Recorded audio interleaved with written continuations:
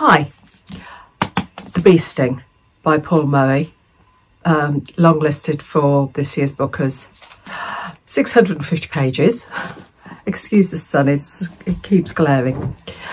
Um, and wow, this was a, a certainly a, an experience to read. It's set in Ireland and we have the Barnes family who are in meltdown.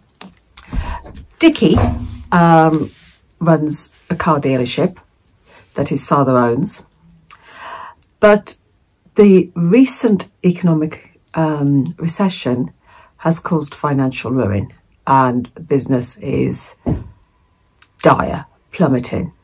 Um, so Dickie's response is to go off into the wood to build a, an, a bunker for the end of the world. His wife, Imelda, she's the town beauty. And, and from now, and now, instead of being the sort of person who buys and buys and buys every time she goes shopping, she is now having to sell, sell, sell. He's got two children, Cass, who is waiting for her exam results that will decide her future. Does she go to Trinity in Dublin or does she have to stay at home?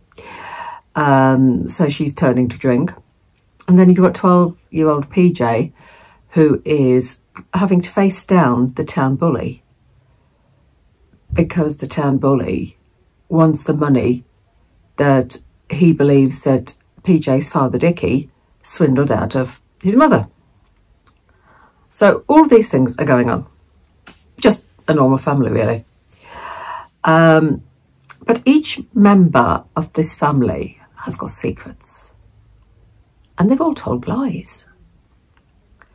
And as the blurb says here, as the blurb says right at the very beginning, the present is in meltdown, but the causes lie deep in the past.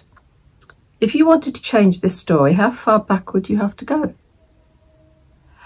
To the car crash 12 months before Cass was born, to the infamous bee sting, which ruined Imelda's wedding, or all the way back to Dickie at 10 years old, trembling before his father in the garden as he's being taught to be a real man. So you've got all of these secrets and lies and as it says which event caused this tra downward trajectory. The first half of the book, you have got basically a chapter, almost a chapter for each family member. Quite long chapters. And you learn about the family member, you learn about Dickie, you learn about Imelda, you learn about Cass, you learn about PJ, and you also learn their backstories and what has happened to them to bring them to where they are now. Um, in fact, Imelda's section, it seems to be almost without punctuation. And I think that could be a, it, it, it wouldn't have been, he, he wouldn't have made a mistake. It's stylistic choice and why he's chosen Imelda's um, chapter to lose the um, punctuation. Is it trying to show us her state of mind? I, I don't know. You know, you, come and tell me. You, you tell me. This is this is me, me thinking this. Then after the first half, then the chapter seemed to get sh shorter and shorter, and the author switches to second person. You know, you're doing this. You see this. You, you, you. Uh, uh, why? Um, again, my mind is, is this so that it's the reader asking, you're doing this now? Yeah, is, is it the reader questioning? Again, you tell me what, what you think. I'd love to know. And then the last hundred pages or so, wow, wow.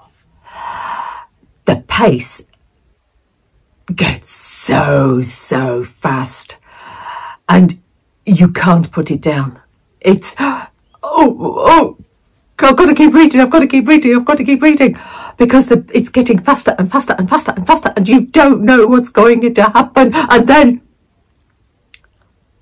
I will leave you to tell me what you think of the ending because I still haven't got my head around it. Not yet. I, I, I still can't decide what I think about the ending, and I think and it's the ending for me that stops this being a five star. the only way I can think of describing it, and this is going to sound really, really, really odd, it's as though I'm being chased through the woods. There's something behind me and I'm being, I'm, I'm running and running and running and trying to get away. And my breath is, I'm get, I'm gasping, I'm gasping. My heart is pounding. And, and at that precise moment when I can't run anymore, and I, I just fall to my knees, I look behind and there's nothing there. And I think, why was I running? And uh, this, this is the only way I can think of how the ending did that what, what the it, that is what the ending did to me, how it made me feel. You know, what?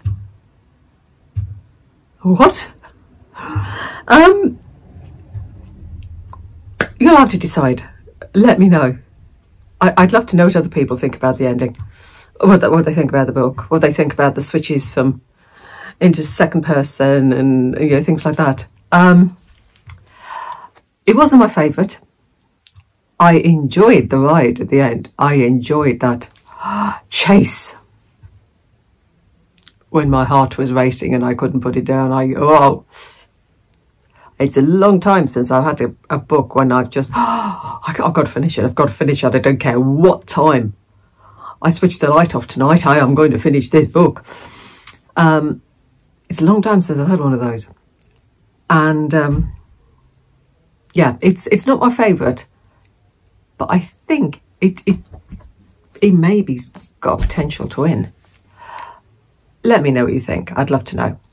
Anyway, so that was that one. I've got the other Eden to pick up from the library tomorrow, so I can start that.